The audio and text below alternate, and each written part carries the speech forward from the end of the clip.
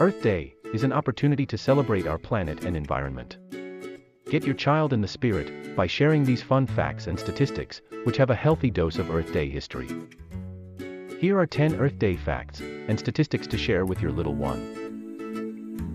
Senator Gaylord Nelson conceived Earth Day in the early 1960s. Senator Nelson worried that environmental issues were not being addressed in the political arena, especially after he witnessed the aftermath of a California oil spill in 1969. He was inspired by Vietnam War protests to organize a nationwide grassroots demonstration to promote conservation involvement and awareness. The first Earth Day was in 1970. Nelson's demonstration was set for April 22, 1970. It purposefully fell between spring break and final exams in the hope that college students would participate. About 20 million Americans showed their support, according to environmental advocacy group Earth Day Network, and it soon became the first official Earth Day. The government responded to Earth Day with environmental legislation. Both Republicans and Democrats responded to the environmental conservation messages of Earth Day.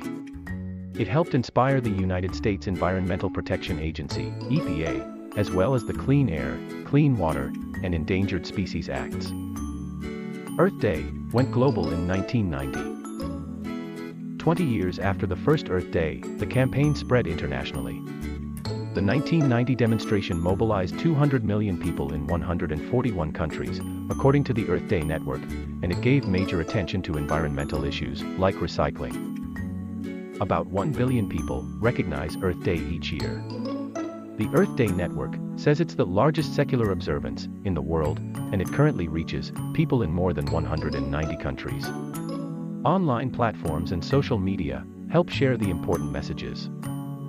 Earth Day always falls on April 22nd. Wondering when Earth Day is this year? It always takes place on April 22nd as a nod to the first official demonstration people worldwide participate with rallies, concerts, acts of service, outdoor activities, and more. It's known as International Mother Earth Day around the world.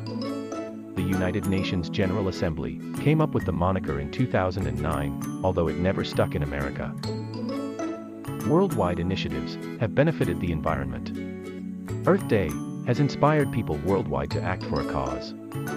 For example, more than 100,000 people in China rode bikes to work in 2012. Additionally, 28 million trees were planted in Afghanistan on Earth Day 2011. There's an official Earth Day song.